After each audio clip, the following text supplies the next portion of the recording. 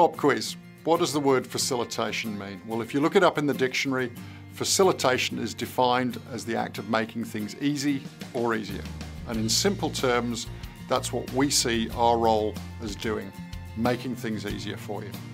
Now this could be by helping a group of your senior managers or a team navigate their way to a particular outcome. For example, developing a strategic plan for the year in a kick-off meeting, or on a bigger scale, developing vision and values for the organisation.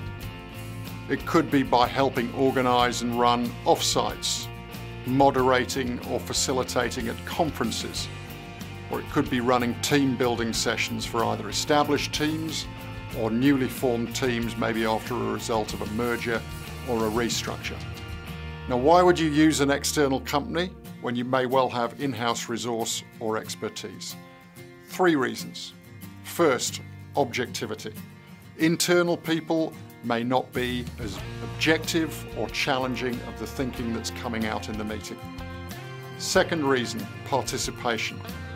Often you'll want your internal people to participate fully in the discussions and I've got to tell you, it's almost impossible to facilitate and participate effectively at the same time. Third reason, time. Using us frees up your people to do what they do best. It removes the worry of putting together a program and running it well. Now, facilitation work tends not to be content driven. Rather, we're there to guide discussion, challenge thinking, and provide structure and process. Basically, we're here to solve a problem and make things easier.